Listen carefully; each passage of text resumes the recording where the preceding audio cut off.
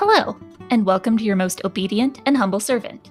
This is a women's history podcast where we feature 18th and early 19th century women's letters that don't get as much attention as we think they should. I'm your host, Katherine Garrett. This episode is part of our season on wit. And today I am delighted to welcome Dr. Miriam Liebman, an assistant editor with the Adams Papers at Massachusetts Historical Society. Welcome to the podcast, Miriam. I'm so happy to have you. Thank you so much for having me. It's so exciting to be here. It's exciting to finally meet up. yes. I'm very happy to have someone from the Adams Papers. Our last Abigail Adams letter I spoke about with a good friend of mine, but who is not an expert on the Adamses, and we missed some very important points. So I'm very happy to have you on here as someone who's very familiar with these people and all of these large cast of characters that we can really dig into this one. So tell me a little bit about your work with the Adams Papers. What exactly do you do? What volumes have you worked on?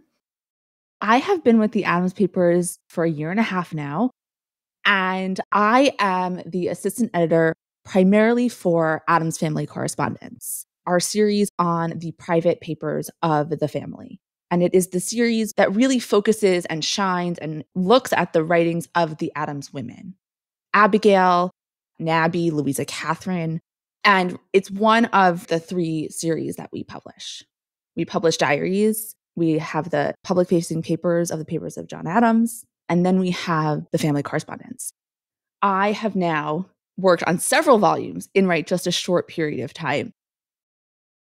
When I started, I worked on annotation for Adams Family Correspondence, volume 16.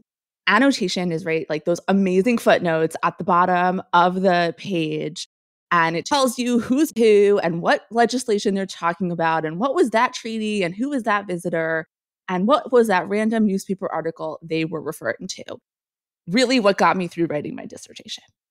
And it was such a cool experience to be on the other side writing those and like finding those pieces out and building out that world.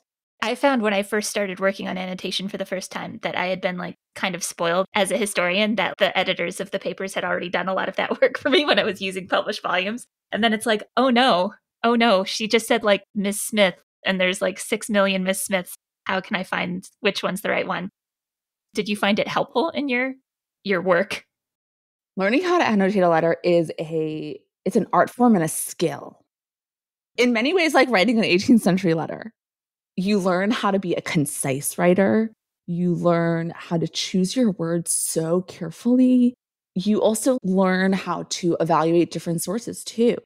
As I like have said, it's my favorite things about being a historian is like very much in like the world of the Adamses. I get to be with primary sources. I get to read their letters. You get to build out the world that they lived in. But that's one of the coolest things to me is that sometimes you're looking at secondary sources and there's the big history beats, but you're looking at a letter that happened at a certain time and what was important to them at that certain time might have been forgotten like immediately afterwards and you've really got to dig into those primary sources to be like what's this actress's name and things like that.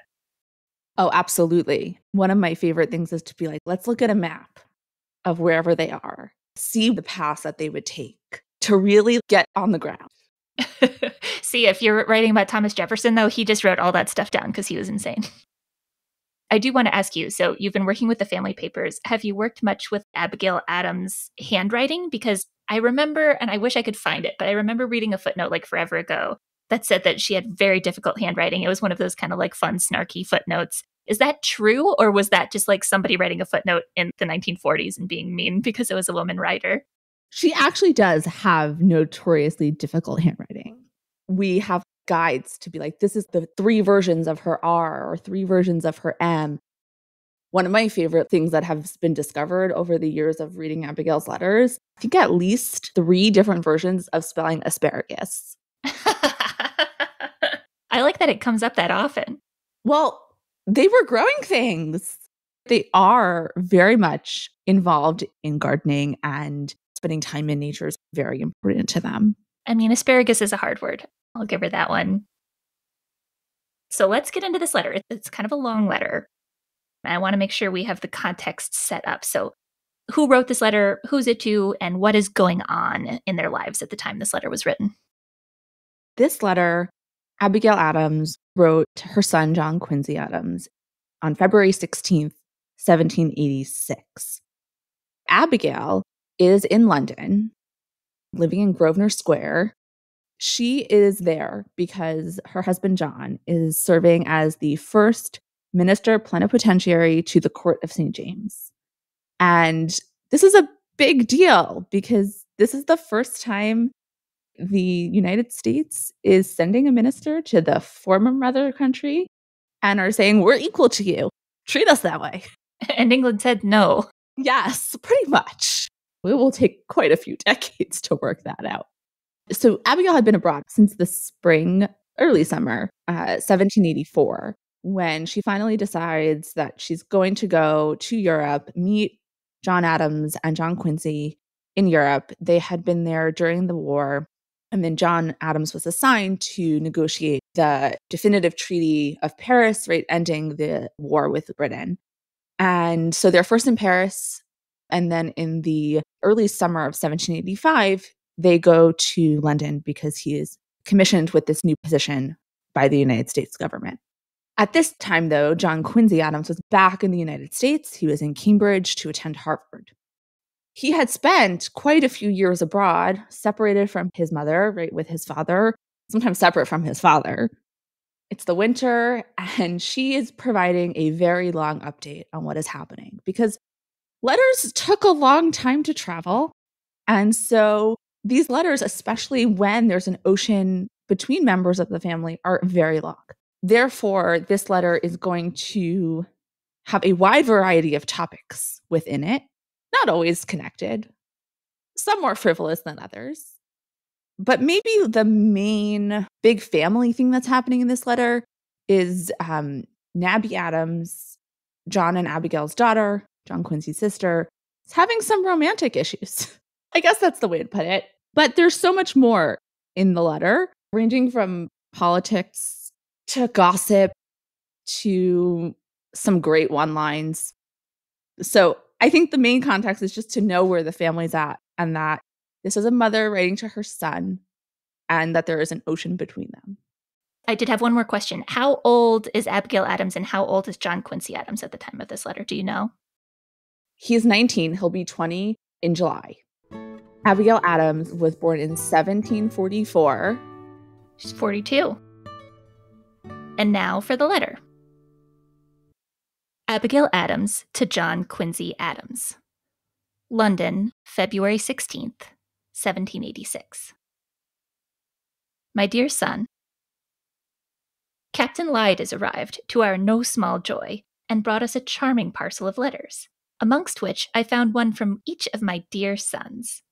You know how happy a circumstance of this kind always makes me.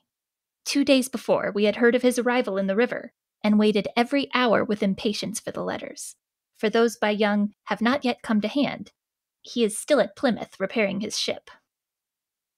Yesterday we went to dine with a Mr. and Mrs. Blake, who came formerly from Carolina, but who have many years been settled in this country. Mr. Blake is said to be the richest citizen belonging to the southern state of Carolina. I am loath to mention that he owns 1,500 Negroes upon one plantation as I cannot avoid considering it disgraceful to humanity. His annual income is said to amount to 1500 sterling. He lives in a style of great elegance. It is not the fashion in this country to dine large parties. Few rooms are calculated for it. There were no ladies present except myself, your sister, Mrs. Blake, and daughter Mr. Bridgen, whom you know. Two young Carolinians, who have lately arrived and dined with us some time before. Your papa and Colonel Smith made the company.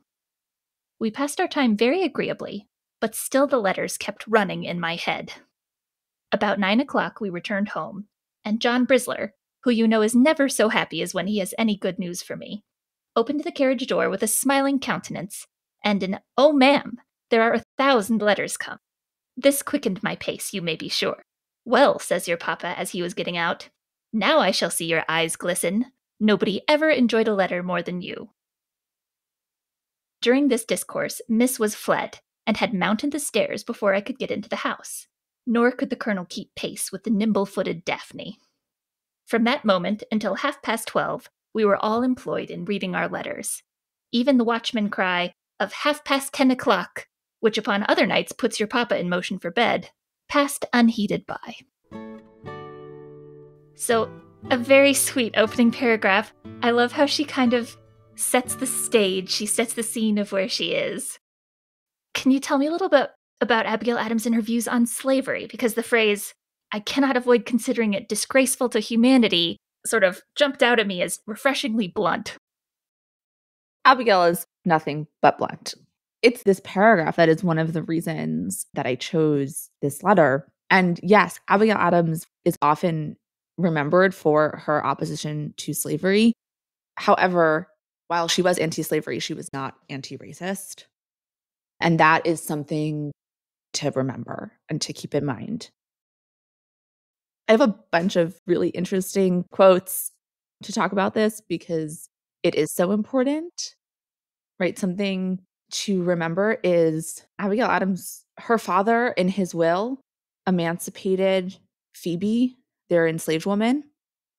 So Abigail Adams grew up around slavery, right? In a household that enslaved people. And if you don't mind, I'll actually just use a couple of quotes because I think they're really helpful. In September of 1774, she writes to John Adams, quote, I wish most sincerely there was not a slave in the province. It always appeared a most iniquitous scheme to me. Fight ourselves for what we are daily robbing and plundering for those who have as good a right to freedom as we have. End quote. And then Abigail Adams to John Adams on 31 March 1776, which I think a lot of us know because it's also Remember the Ladies. But she also wrote, quote, I have sometimes been ready to think that the passion for liberty cannot be equally strong in the breasts of those who have been accustomed to deprive their fellow creatures of theirs. End quote.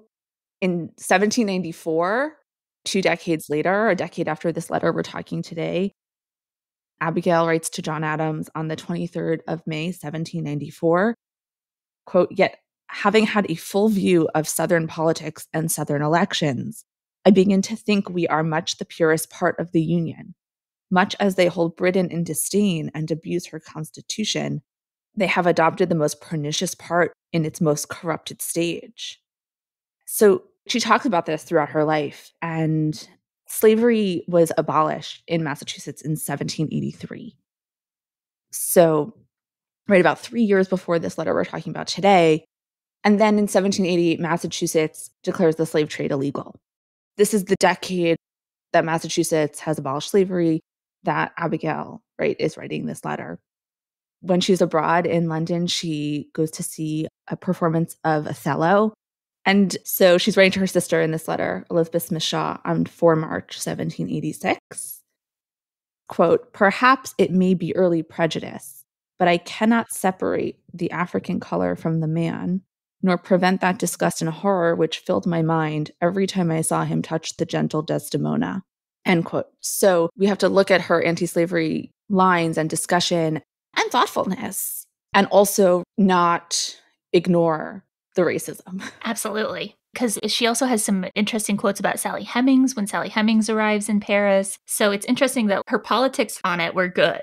We've got to end slavery very soon, but her personal feelings, I would say, are racist. But when you read a lot of letters from this time, that seems it's more common than you would expect. It's ubiquitous in a lot of white people's writings.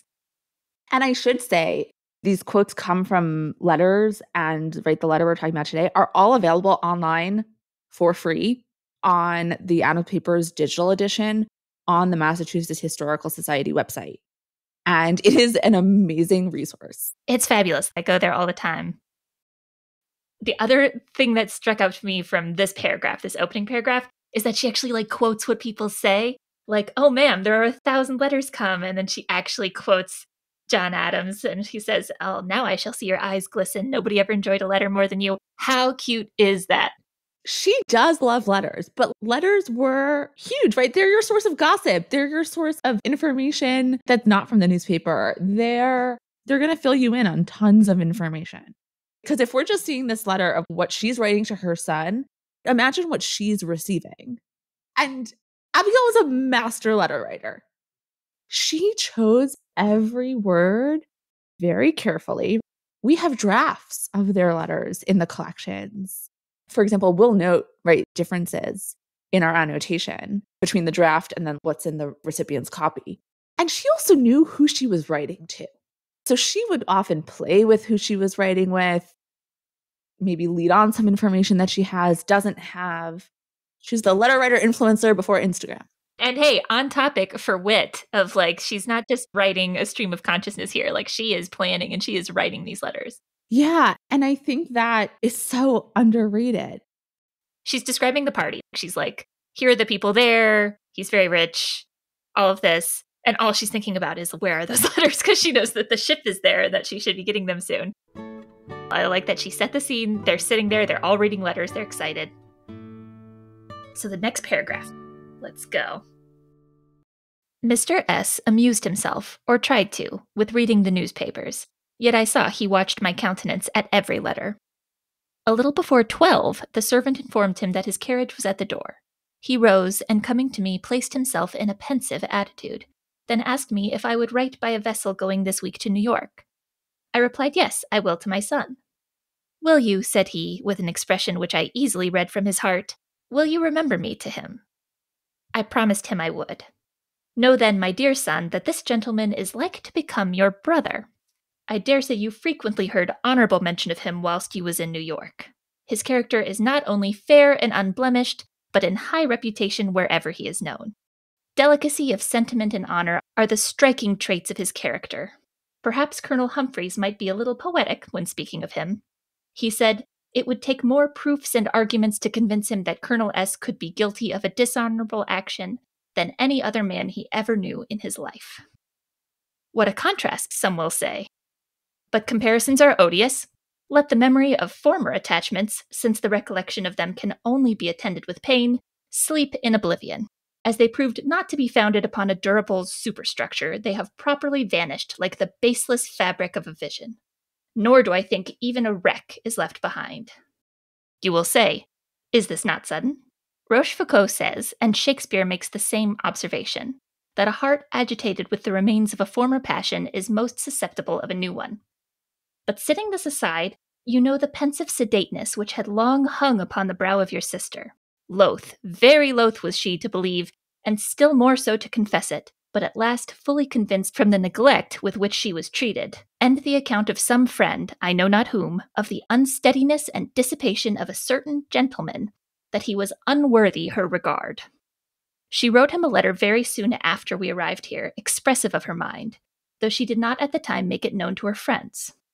But she afterwards produced a copy of the letter as a full proof that her conduct was the result of proper conviction and mature deliberation. The final dismission and the last letter she ever wrote him was in consequence of my expressing a doubt of his strict honor. It was then, as I think I before related to you, that she disclosed her mind fully upon the subject, and asked advice of your papa, upon which he told her if she had sufficient reason to doubt his honor and veracity, he had rather follow her to the grave than see her united with him.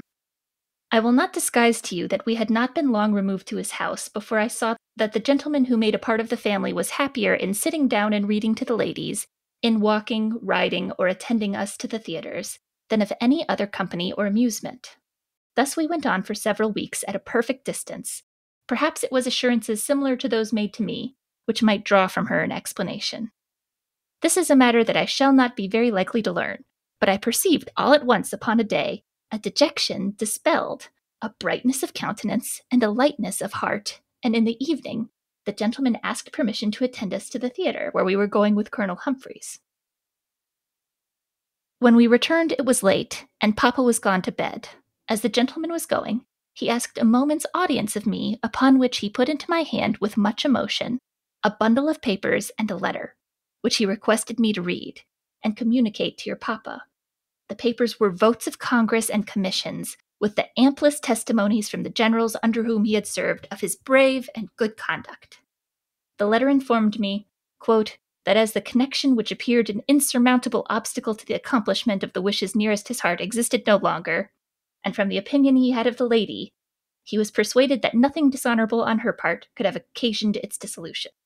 He hoped that Mrs. Adams would not be surprised at his early anxiety to gain the confidence of her daughter, and to lay a proper foundation for a future connection, provided it should meet with the approbation of her parents and friends. Unquote. There were many other matters in the letter which were mention of his family situation, etc. I, according to request, communicated to your papa the papers and letters, as it appeared to him that this gentleman possessed all those qualifications necessary to make a faithful and agreeable companion. He left it wholly to your sister to determine for herself. I begged her to satisfy herself that she has no prepossession left in her mind and heart, and she assured me she never could be more determined. I think she must feel a calmness and serenity in her present connection, which she never before experienced. I am sure it has relieved my mind from a weight which has hung heavy upon it for more than two years. I rejoice that her conduct meets with the approbation of her friends. I doubt not but her present choice will do so equally. I think she will herself communicate the matter to you. Okay. so here we have, in great detail, the description. I, th- I like how it just starts where she's like, by the way, Colonel Smith is really great. Also, he's going to marry your sister. Who was Nabby engaged to that Abigail is throwing so much shade at in this series of paragraphs? Royall Tyler. Royall Tyler. The and he came up in the. Mary Cranch episode that we did. Well, he lived, he boarded by the Cranches. And that's how he met Nabby. The ironic part about the amount of shade that she is throwing is that she loved him when he first started courting Nabby. This is from 23rd December 1782. She wrote to John Adams that Royall Tyler had been, quote, rather negligent in pursuing his business in the way of his profession and dissipated two or three years of his life and too much of his fortune for to reflect upon with pleasure. But then, right, she goes on to be like, oh, he's changed his ways. And quote, he cannot fail making a distinguished figure in his profession if he steadily pursues it. That was like 1782, I said. So it's going to change pretty quickly. Nabby's letters on this appear to be lost. There's not much. In a letter that's been dated 11 August 1785, Nabby requests from Royall Tyler the return of the miniature of her that he has. What happens is they're technically engaged, and Abigail thinks the distance is good, right? Like a whole ocean. And there were rumors about Tyler that he had an illegitimate child and he got into trouble. The Mary Smith Cranch letter that we have is the illegitimate child one. And I was like, this is so great. This is such a hilarious description of this random guy. And I didn't know he had been engaged to Nabby. A very pivotal point in this letter. She made a good escape there. And also, I love that she's like, I would like my miniature back. So Abigail is like so concerned about reputation here. So so right, so William Stephen Smith was was John Adams' secretary in London. And she's like, "Oh, you're interested. Okay, you need to go away for a little bit." So he goes to Prussia. And she's like, "Okay, Nabby, what's going on here?" In that summer of 1785, writing to Mary Smith Cranch, Abigail relays a conversation she had with Nabby. And it goes, quote, a few days since, something arose which led her in conversation to ask me if I did not think a gentleman of her acquaintance a man of honor. I replied, yes, a man of strict honor, and wished I could say that of all her acquaintance, as she could not mistake my meaning, instead of being affected, as I apprehended, she said, a breach of honor in one party would not justify a want of it in the other. I thought this the very time to speak. I said if she was conscious of any want of honor on the part of the gentleman, I and every friend she had in the world would rejoice if she could liberate herself. And she right, she does, right? And then William Stephen Smith comes back at the end of 1785 because Abigail didn't want it to look like she started courting with with one Yes, person while she was still engaged to the other, right? She needed she needed like that alibi timeline, right? Abigail is like pulling the strings here. She's like, oh, this could look bad that she was engaged and then she abandons him for this other guy who's clearly better. Abigail obviously is very into him. She's she likes she's writing wonderful things about William Stephen Smith. Uh, He's like a man of honor. She's quoting poems. She's quoting Colonel Humphrey, so I imagine wrote one of the letters that Smith gave her. What is your opinion on William Stephen Smith? He does not live up to this honor. In the current volume of Adams Family Correspondence, volume 16 that we're working on, William Stephen Smith helps fund the Miranda expedition to Venezuela. Yeah, I don't know what that is. Basically, he tries to like incite insurrection in another country to overthrow that country's government. So he gets federally indicted and loses his job as the surveyor of the port of New York. His son goes, their eldest son, William Steuben Smith, goes on this expedition. And like they don't know for a couple months if he's alive. What strikes me a little bit about Abigail Adams is that she nailed picking a husband for herself. It's like one of my favorite relationships. And then it seems like she just keeps giving Nabby bad advice. She liked Royall Tyler at first. I might be reading too much into this, but when she's talking about how she's spent two years worrying about this, like she's spent two years agonizing over it, I think she's like, oh, I feel guilty that I pushed this Royall Tyler guy. I've got to fix the situation. And then she maybe rushed a little bit too much into the William Stephen Smith one.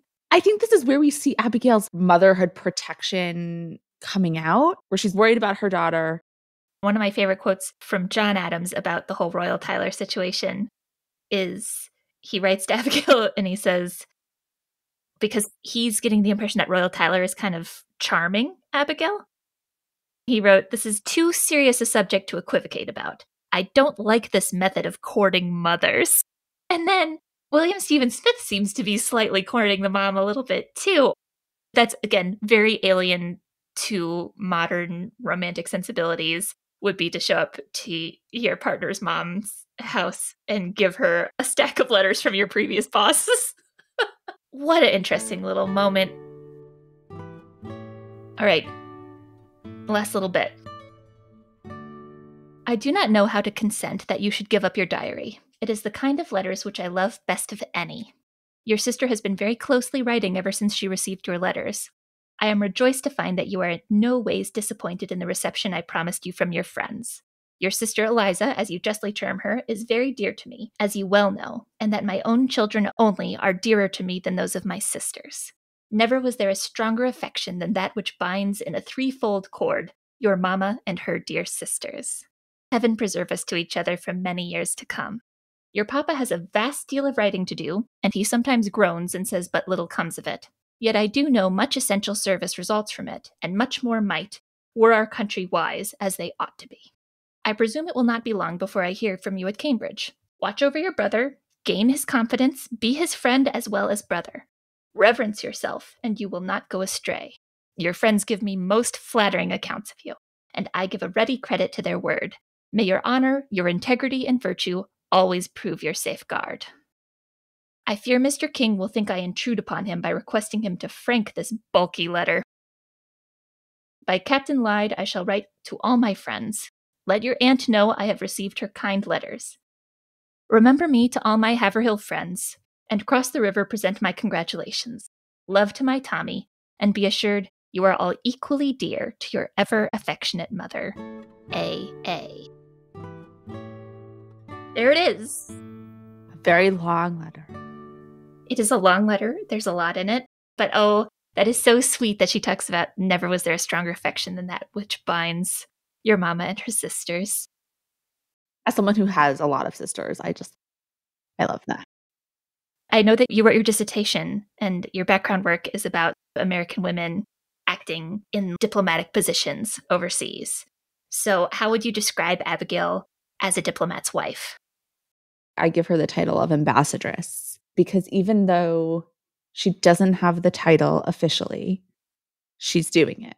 She is managing a household. She is going to court. She is hosting dinners. She is paying visits. She is receiving visits.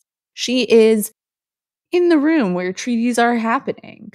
At times, she's going to be the person who is transcribing a letter or endorsing a letter. She's definitely reading her husband's letters. So she has all of the intelligence and knowledge and intrigue and John seeks her advice. So often the question becomes okay, so like, was she good at it? Did she succeed? That's like a very old school diplomatic way of thinking about it. I'm actually less interested in like whether she was successful or not than the fact that she was a diplomat abroad on behalf of a very new country.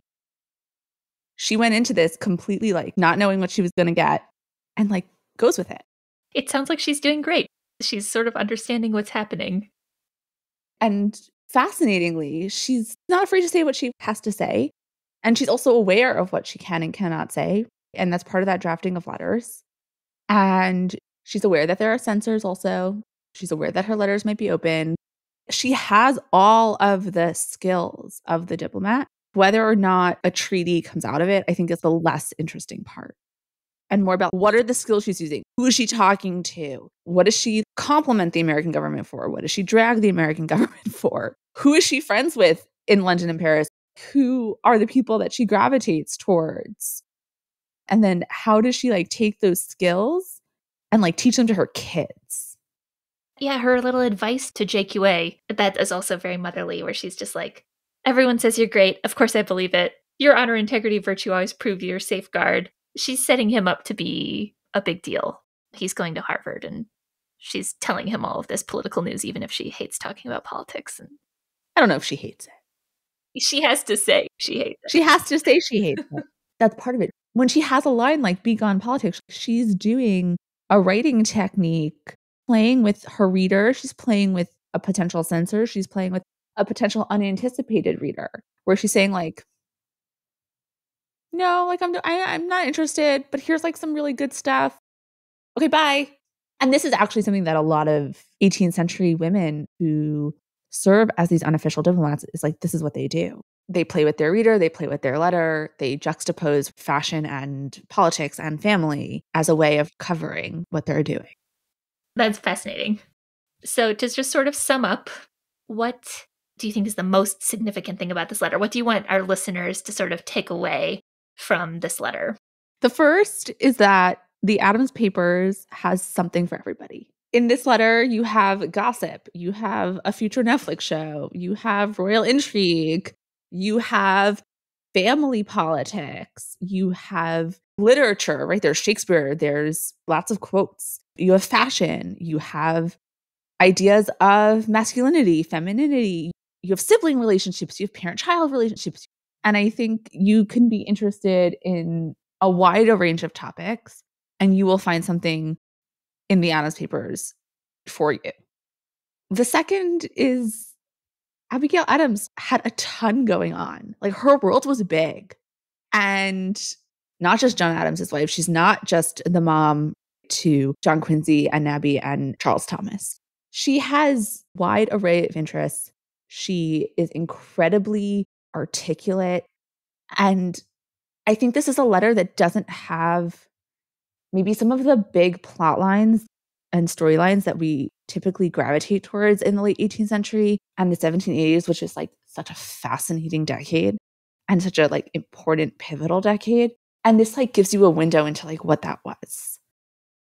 As you say at the opening to this podcast, right? It's like, like this is like to tell the stories that like don't always make the history books.